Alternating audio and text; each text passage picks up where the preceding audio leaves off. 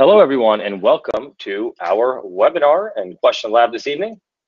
Tonight's topic, as you probably already know, is microbiology and specifically parasites. Leading our discussion today is the one and only Dr. Paras Vakharia, and he's going to introduce himself now. Paras. Thank you, Sean. Hey guys, uh, my name is Paras. I'm a dermatology resident uh, here in Dallas, Texas. I originally graduated from pharmacy school in Missouri and then went back home to uh, Michigan and do medical school. Um, I'm also an RX coach with USMLE RX, so I work one-on-one with students to help prepare them for the USMLE RX, um, sorry, the USMLE Step 1 and Step 2 CK as well. Um, and I'm happy to help lead tonight's session on parasites. As you can see, the answer choices are covered up, and that is by design. We don't want you to see any answer choices that you may be uncomfortable with or unfamiliar with that may cause you to panic. And we also don't want the answer choices to guide or dictate your thought process. So I've gone ahead and removed those for you. After that, we'll read the lead in or the last sentence, which is the question itself. And we do that so that when you read the vignette, you already know what the test writer is asking. So you can pick up on all of those relevant clues and prevent yourself from having to reread that question and waste valuable time on test day. So let's go ahead and read that vignette now. Which of the following is the vector for the transmission of this patient's most likely illness? Which of the following is the vector for the transmission of this patient's most likely illness? Once we read the lead in, we'd like to ask our students how many steps they believe this question will require. And we do that so you can keep an organized thought process and not make any careless mistakes, and also to ensure that you answer the right question. An example of a one-step question could be where you're asked for the diagnosis, an example of a two-step question could be where you're asked for the treatment for a diagnosis. And an example of a three-step question could be where you're asked for the mechanism of action for a treatment for a diagnosis. So with that, I'll give all of you a few moments here to respond in the question box and let us know how many steps you believe this question will require. And then we'll move on and read that vignette.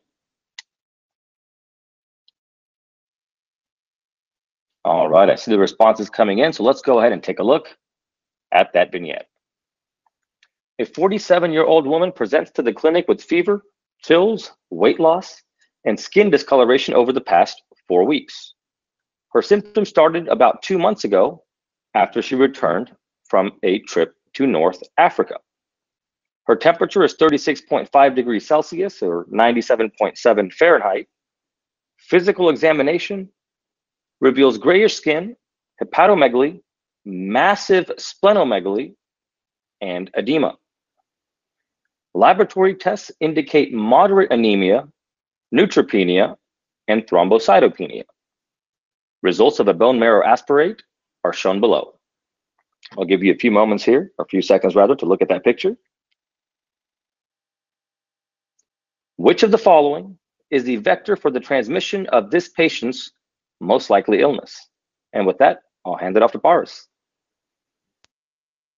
Thank you, Sean. So what we are going to do is we are going to show you what we think are the important clues in this vignette and the lead-in. So starting off with any question, you know, they generally are going to give you demographics. And in this case, uh, we're told this is a 47-year-old woman, okay? So important to make note of that. That'll automatically uh, help guide you in, you know, what's going on, uh, what should be on your differential diagnosis then usually they tell you why they're there. So in this case, fever, chills, weight loss, and skin discoloration, okay?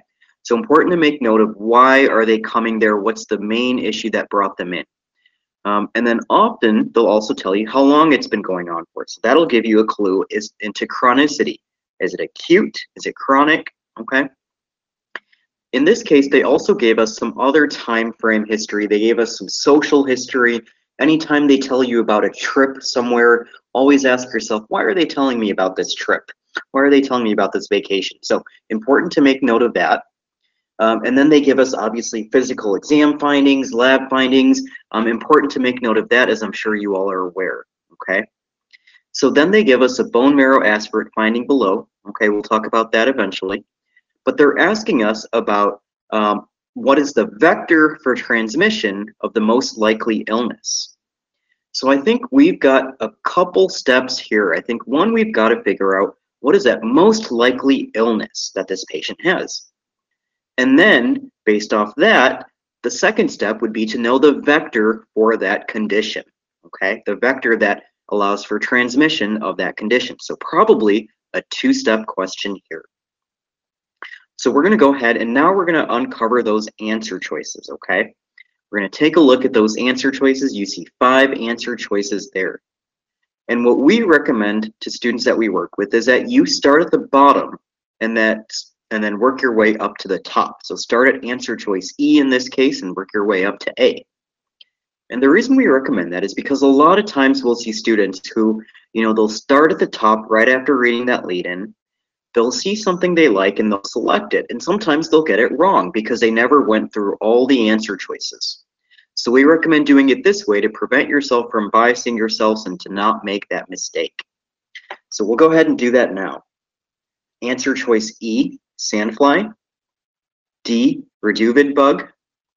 C, ixodes tick. B, Anopheles mosquito. And A, Aedes mosquito. So we're going to go ahead and open up the poll. Go ahead and select the answer choice you think is the best answer here, and we'll talk about it in just a few seconds. Excellent. Thank you, Paras. The poll is open. We're going to wait until about two thirds of you have responded. And then we will go over the correct and incorrect answer choices. As always, we do have a raffle at the end of the evening, so make sure you stick around. You could be our lucky winner, but you must be present to win. I see the responses coming in. We'll give all of you a few more moments here. All right, let's take a look and see what you selected. The clear favorite here was Sandfly with 43%. And in second and third place was pretty close, the Anopheles mosquito and the Aedes mosquito. So let's take a look and see what the correct answer is. And the correct answer is E, Sandfly. And 43% of you got it right. Let me hand it off to Paras so he can explain to us why that is the correct answer. Thank you, Sean. Yes, great job, guys. This is a nice parasite question. So this patient, as many of you guys probably have, uh, have uh, gotten, has leishmaniasis, visceral leishmaniasis, okay? It's an infection with the parasite Leash, Leishmania uh, donovani, okay? So let's go ahead and take a look at the next slide. Sean has gone ahead and pulled up a table from first aid looking at leishmaniasis, okay? And you can see there that it's an infection, and specifically the visceral type is an infection with leash, uh, leishmaniasis, and visceral leishmaniasis, which is also referred to as Kala-Azar. You can see spiking fevers, hepatosplenomegaly, and pancytopenia. Okay. There's also cutaneous leishmaniasis, which I've actually been able to see a few times, um, but visceral leishmaniasis is what's being talked about here. And you can see there in that the mode of transmission is via the sandfly. Okay. So let's go back and take a look at our question. And now that we've reviewed this table, hopefully it will make sense when we look at those clues that we highlighted. So we can see there that this patient has hepatosplenomegaly. They told us about hepatomegaly, massive splenomegaly, also has pancytopenia, low RBCs, white blood cells, and or neutrophils specifically in this case, and low platelets. Okay. Now they also it used to be called Kala-Azar or black disease, black fever, because there used to be, or sorry, there there can be grayish, darkish discoloration of the skin, usually of the hands and arms. Okay. So that's what they're referring to with that skin discoloration. And usually this is something seen in North Africa, um, also Middle East, Central Asia as well. And it occurs, um, if you were to have cutaneous lesions, those would occur on exposed skin at the site of where you were bit by the sandfly. Okay, so the, the vector here is the sandfly. So great job here, okay? And what we're seeing on this bone marrow aspirate is we are seeing macrophages with a lot of intracytoplasmic bugs or parasites, what are called the amastigotes. Okay, so you can see there the big cells with those tiny little purplish, purplish globules within them. Those are the amastigotes of this infection. Okay, so this would also be in the differential of your parasitized histiocytes, your parasitized macrophages. So macrophages that have uh, intracellular path, uh, uh, parasites. So histoplasmosis is another common one as well. Okay, so great job on this question. Let's take a look at the other answer choices, why those are incorrect. Answer choice D, that is getting at Chagas disease spread by Trypanosoma cruzi. Okay, um, that's a condition characterized by cardiomegaly, sometimes dilation of the intestinal tract, not what we're seeing here. Answer choice E, uh, the Ixodes tick actually transmits a few pathogens, okay? Um, Lyme disease or Borrelia burgdorferi, babesiosis by Babesia microti, and anaplasmosis. So a few things for Ixodes tick, babesiosis, anaplasmosis, and Lyme disease, okay? They don't usually present with uh, these specific signs and symptoms, especially the skin discoloration, um, and you wouldn't see the pathogen on bone marrow aspiration. Uh, answer choice B, uh, this transmits um, the plasmodium species of malaria. Okay, so you can see anemia, you can also see fever, but you should also see uh, some other clues getting at malaria. So cyclical fevers, um, sweating, um, and you should, this is something you would see on a smear of red blood cells, not a bone marrow aspiration. Lastly, the Aedes mosquito, that spreads primarily your flaviviruses, so dengue fever, yellow fever, Zika, um, which uh, also present differently than this patient. So uh, hopefully a nice review of some of those other vectors there as well, and great job on this question. Excellent. Thank you, Paras. Yes, great job, everyone. Let's go ahead and move on now to our second question of the evening. Once again, the answer choices have been removed. That is by design. And we will begin, as always, with the lead-in. The most likely infecting organism invades the host's immune system through which of the following cells? The most likely infecting organism invades the host immune system through which of the following cells? I'll give all of you a few moments here to respond in the question box and let us know how many steps you think this question will require. Then we'll move on to the lead-in.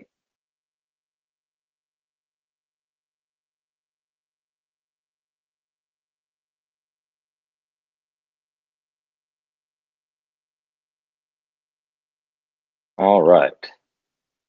You've had some time now, so let's go ahead and take a look at that vignette. A 21-year-old female presents to the clinic because of two-day fever, abdominal pain, and bloody diarrhea. The patient recently returned from Peru.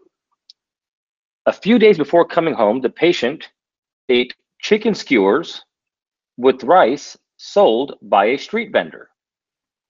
Temperature is 38.5 degrees Celsius or 101.3 Fahrenheit.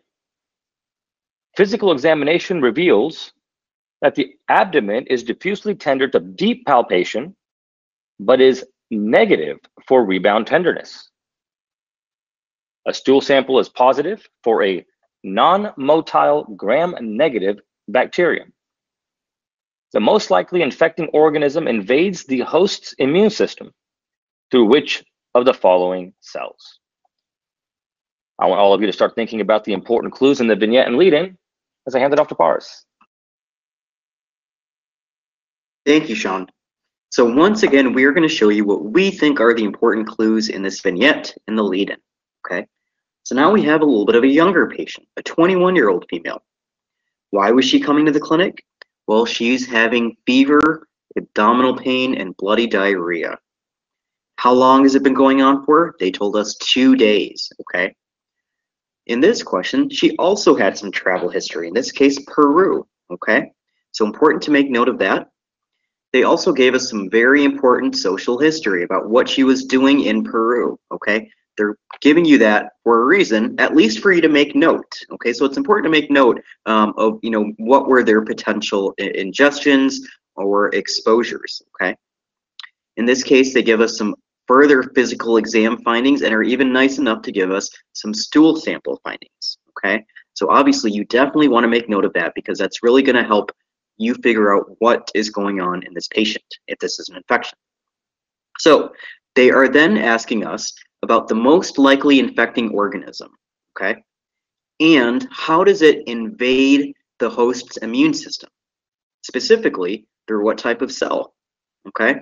So I think we've got at least two steps here. I think we've got to figure out one, maybe, um, you know, what is the condition that this patient has, okay?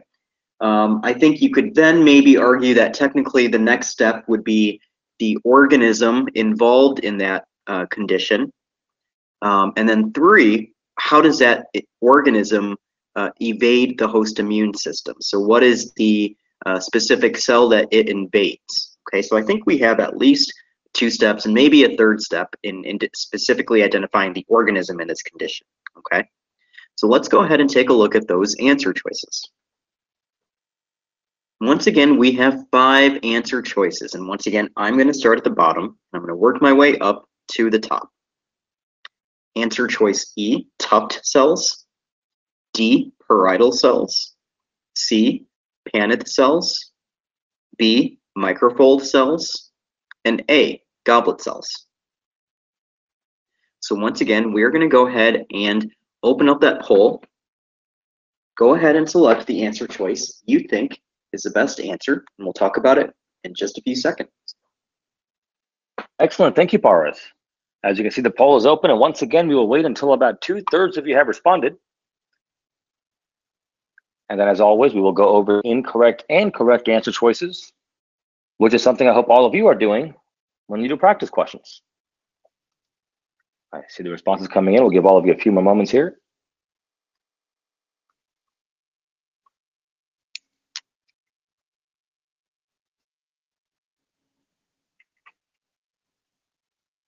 All right, let's take a look and see what you selected. It was close. 31% of you picked Paneth cells and 28% of you picked microfold cells. So let's take a look and see what the correct answer is. And the correct answer is B, microfold cells, and 28% of you got it right. Let me hand it off to so he can explain to us why. Thank you, Sean. Yes, definitely a tough question. So Let's take a look at what's going on in this question. So this patient has diffuse abdominal pain, fever, and bloody diarrhea after consuming food purchased from a street vendor, okay? So this patient probably has Shigella or shigellosis due to Shigella flexneri. It's a common cause of bloody diarrhea in low-income countries, okay? So let's take a look at the next slide, Sean has gone ahead and pulled up uh, a table from first aid looking at salmonella versus shigella, okay? So as you can see there at the very top, these are gram-negative rods, and they invade the GI tract through the M cells or the microfold cells of Peyer's patches. That's what the M stands for, okay? So you can see there that we now have the answer, but we'll take a quick look. So in Shigella, you can see there that um, it presents often with crampy abdominal pain and patients can and usually do have bloody diarrhea. Okay, this is the column on the very far right, that's Shigella. And on the next slide as well, there's a little bit more information. You can see there about some of the unique properties. So uh, fingers, flies, food, feces, all potential ways of getting this infection, okay? And the invasion of M cells or microfold cells is key to pathogenicity, okay? So now that we know that these are M cells, and that's how this infection can man or can invade into the uh, the immune system. So let's go back to our question, look at the other answer choices why those would be incorrect. Um, answer choice E, tuft cells. These are actually chemosensory cells. So they're um, more so for uh, chemical sensation, kind of like taste buds um, in the GI tract. Parietal cells, these are in the GI tract as well, and these secrete hydrochloric acid and intrinsic factor. Um, no real role in host defense against organisms. Answer choice C, Paneth cells. Um, these are part of the small intestine. Um, and their function is to secrete certain substances like lysozymes, defensins, and they do help defend against microorganism invasion. However, the Paneth cells themselves don't really play a role against the infecting organisms, um, and they're not invaded by this organism or other organisms similarly, okay? And lastly, goblet cells, as you guys probably know, these are cells that secrete mucus into the GI tract. Um, but nothing that would be uh, where you'd worry about a uh, organism invading the goblet cells specifically. Okay, so this was a question on um, specifically uh, immunology as well, um, and on top of microbiology. So a lot of overlap between some of those basic sciences here in this question. Excellent. Thank you very much, Paras. And great job, everyone. That was a tough question. Before we move on now to our third question of the evening, I want to take some time to tell you a little bit about RX Coach. RX Coach is our coaching program. So we work with students uh, all the way from MS1 through graduation and uh, through step two, okay? We work with students who graduated up to 15, 17 years ago, and we work with students who are taking step and, and studying uh, for their block exams as well. If you're studying for a comprehensive exam or USMLE or COMLEX exam, we'll start you off with one of our assessments and then base your personalized study plan uh, uh, on, on that baseline that you that you receive from that assessment. If you're currently in medical school studying for uh, in-class exams, we'll use your syllabus uh, and come up with a personalized study plan of that way. And by working with us, our students always tell us that their study plan made their study more efficient and they got higher grades and they got there in less time than they expected. We've had success stories of students breaking 260 regularly. One of them is now one of our coaches. We've had students that come to us that graduated, like, I said, over a decade ago, and they've been successful as well. We have great tutors and coaches, just like you met uh, Paras today and Brian. They're all certified and highly trained. With every tutoring and coaching package, you will receive access to all of our resources, which includes bricks, our question bank QMax, our express videos, as well as our flash facts. So if you're studying and you think that, you know, you could use the advice and guidance of a coach, please reach out to us. We're here to help you. We'd love to make you one of our success stories. And you can do that online at rx-coach or rx-coach.com. You can click on the free consultation tab to talk about the program and how it can benefit you. And we'd love to share with you some of our success stories and talk about how we can help you on your academic journey. So with that, let's go ahead and move on now to our third question of the evening. Please do keep in mind that next week's topic is respiratory physiology, and we do have a raffle and special offer for all of you at the end. So make sure you stick around because you must be present to win. Once again, the answer choices have been removed. That is by design, and we will begin with the lead-in. Which of the following organisms is the most likely cause of this patient's condition? Which of the following organisms is the most likely cause of this patient's condition? I'll give all of you a few moments to let us know in the question box how many steps you believe this question will require. And then we'll move on to the vignette.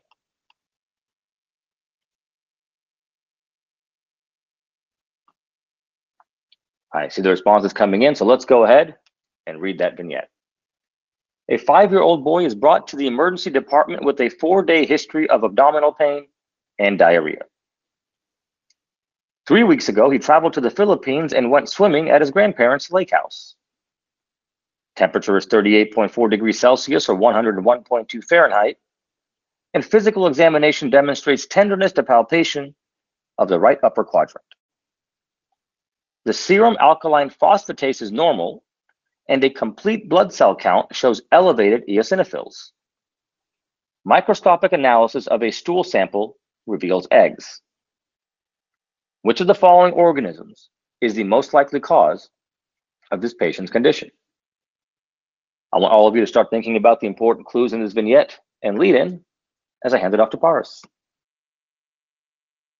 Thank you, Sean. So once again, we are going to show you what we think are the important clues in this vignette and the lead-in. So here we have a five-year-old boy in this situation, so a younger patient. Why did he come to the ER? Well, abdominal pain and diarrhea, okay? How long was it going on?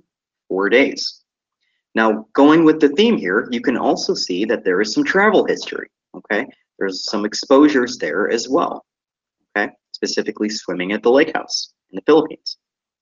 They give us some vital signs, physical exam findings.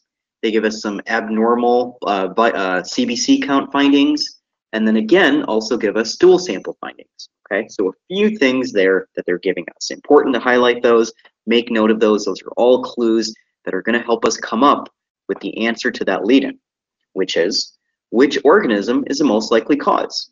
So I think we've got a couple steps here. One, what is the patient's issue? What is the illness? What is the diagnosis? And then two, what is the organism that causes that condition or that illness? So I think we've got a nice solid two-step question here. So let's go ahead and let's take a look at those answer choices. Once again, we've got five answer choices. Okay, I'm going to start at the bottom and I'm going to work my way up to the top. Answer choice E, Strongyloides stercoralis. D, Schistosoma japonicum. C, Loa loa. B, Clonorchis sinensis. And A, Ascaris lumbricoides. So we're going to go ahead and open up that poll. Um, go ahead and select the answer choice you think is the best answer, and we'll talk about it just a few seconds. Excellent. Thank you, Paras. The poll is open. We're going to wait once again until about two thirds of you have responded. Don't forget that we do have a raffle at the end and you must be present to win, so make sure you stick around. I see the responses coming in. We'll give all of you a few more moments.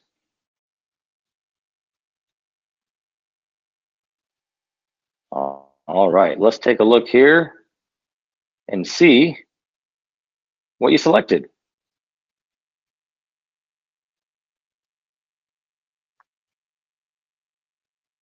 And it looks like 41% of you selected Schistosoma japonicum. That was our number one answer.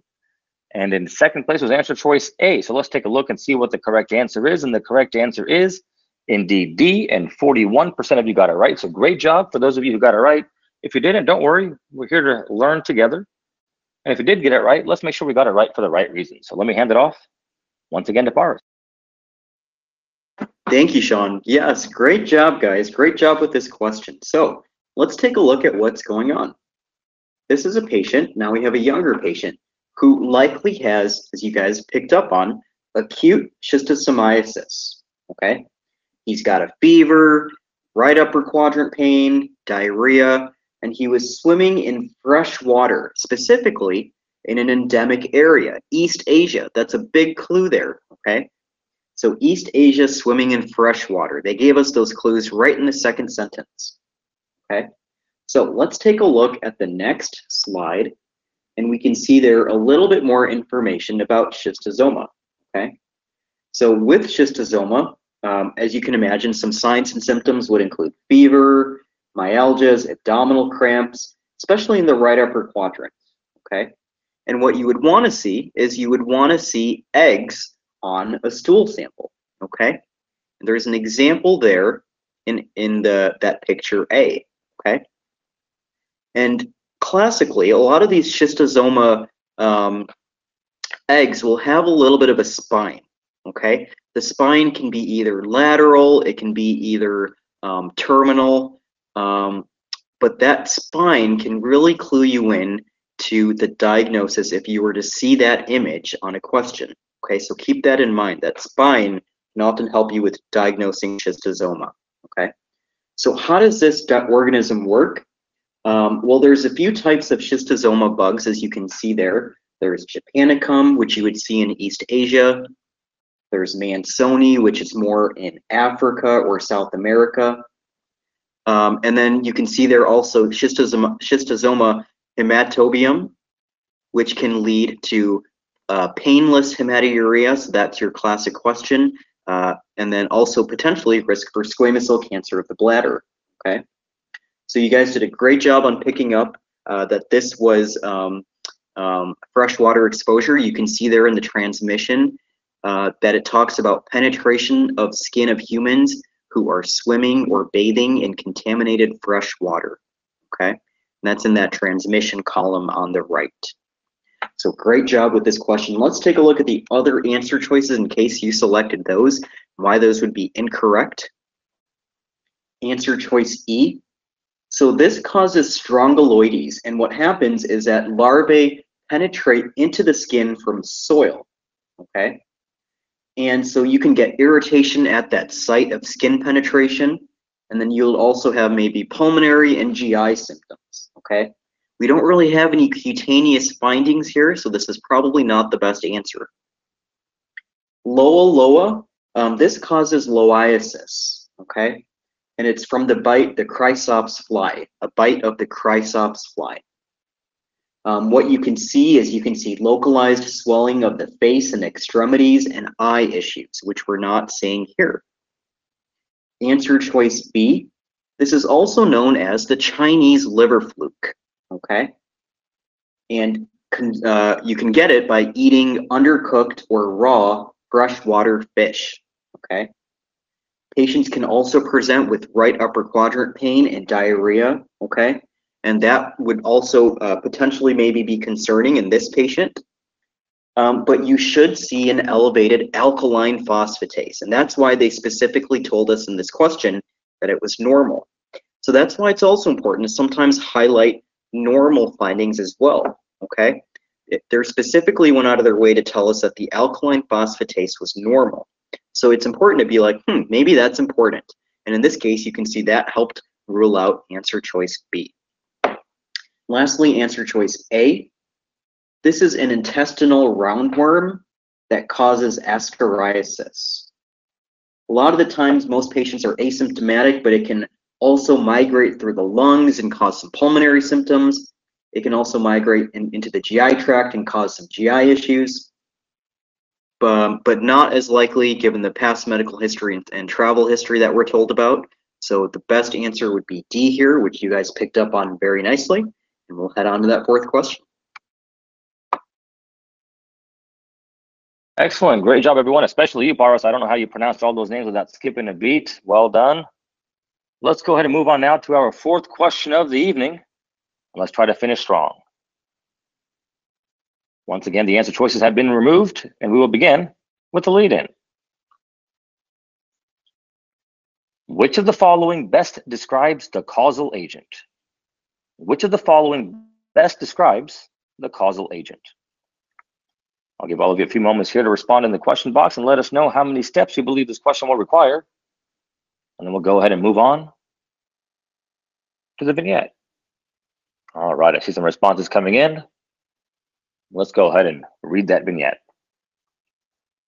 A 26-year-old male presents to the clinic because of a three-month history of right upper quadrant pain. The patient denies recent fever, vomiting, or diarrhea.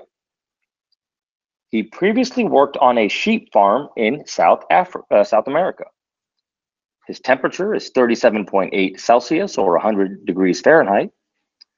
Abdominal ultrasound reveals a well circumscribed six centimeter hypoechoic mass in the left lobe of the liver.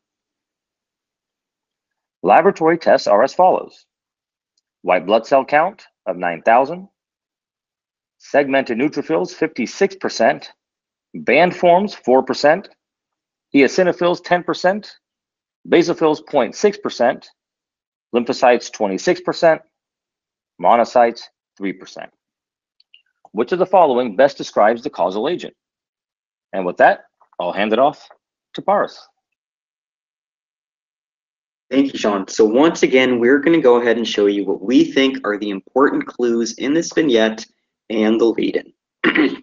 and so we've done this four times now, and so hopefully you know, you guys are starting to see what we think are important clues as you're going through that vignette. So what you should highlight, what you should take note of.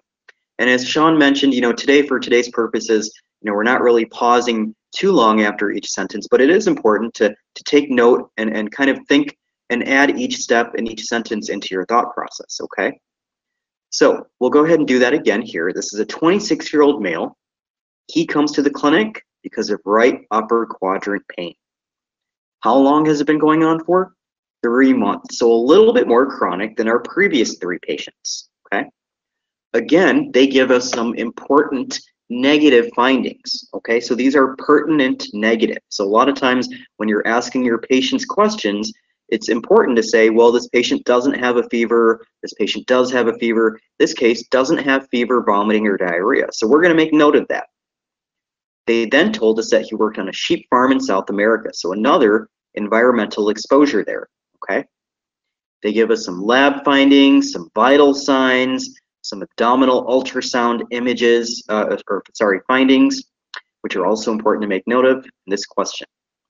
So they're then asking us about uh, what best describes the causal agent. So I think we've got a few steps here. One, I think we've got to come up with a diagnosis. So let's use those clues that they gave us to come up with a diagnosis. Then once we do that, we're going to come up with what we think is the causal agent in that condition. So that's step number two.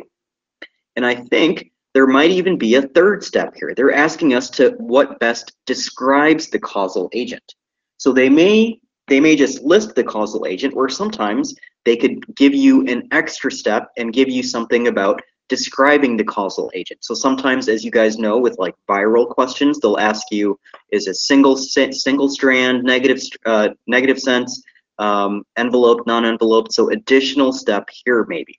So let's take a look at these answer choices. So there is a third extra step here, okay? So what we're going to do is we're going to go ahead and look at those answer choices. We're going to start at the bottom and we're going to work our way up to the top.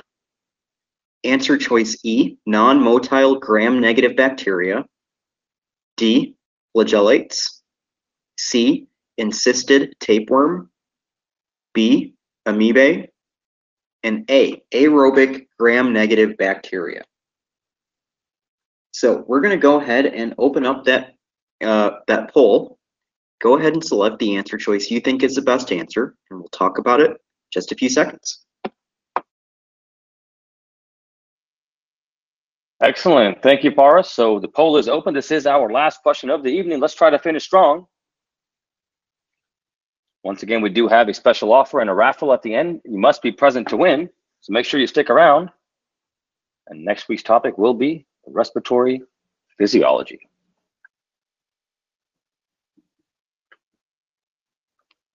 All right, I see the responses coming in. We're going to wait a few more seconds here. All right, let's take a look and see what you selected. It looks like 54% of you selected C, encysted tapeworm, and in distant second place was answer choice B. Let's take a look and see what the correct answer is. And the correct answer is C, and 54% of you got it right. Our strongest performance of the evening. So great job, everyone. Let me hand it off to Boris. Thank you, Sean. Yes, great job. Way to end strong. So um, let's talk about what what is going on in this patient. Okay, so we could see there um, that this is a 26-year-old male who's got fever, and then importantly, elevated eosinophils on that differential of the uh, uh, white blood cell count. Okay, so this patient, along with the chronic pain and the ultrasound findings, really should clue you into uh, excuse me, um, a hydatid cyst. So let's take a look at the next slide. And Sean has gone ahead and pulled up um, a very important slide from first aid looking at this infection. So this is an infection caused by Echinococcus granulosus, okay, also known as hydatid cysts. Okay, and you can see that kind of cyst, and that's what it would, it would look like if you were to remove it from the liver, okay? So sometimes those cysts can rupture and it can, it can lead to anaphylaxis or anaphylaxis-like reactions, okay?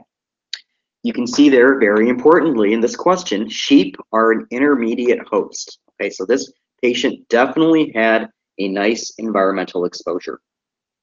And then you can see there also in that ultra, that um, I think what looks like a CT scan image, you can see there some of those cystic spaces in an enlarged liver. Okay. So that is what it would look like on imaging as well. So let's go back to our question.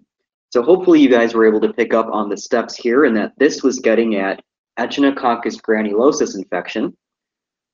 which is an, uh, an encysted tapeworm, okay? So let's talk about the other answer choices, maybe why those are incorrect here. So answer choice E, this would be getting at something like Shigella, okay? Shigella could maybe also cause liver abscesses as well, um, but wouldn't usually have other findings like um, patient. Flagellates, that would be something with uh, Giardia or Trichomonas, and that would also manifest with diarrhea. Now, this patient, importantly, told us he was not having diarrhea. Uh, answer choice B, or amoebae, this would be Entamoeba histolytica, okay? And that can also cause hepatic abscesses. Um, but you would not really see eosinophilia, and this would be for more endemic areas for that. Um, and then also we have a nice risk factor here of working on a sheep farm. Lastly, answer choice A. This could be a few things. Um, one thing could maybe be Pseudomonas, which would also cause liver abscesses, but again, wouldn't shouldn't see eosinophilia per se. So great job on this question, way to end strong, and I will hand it back to you, Sean.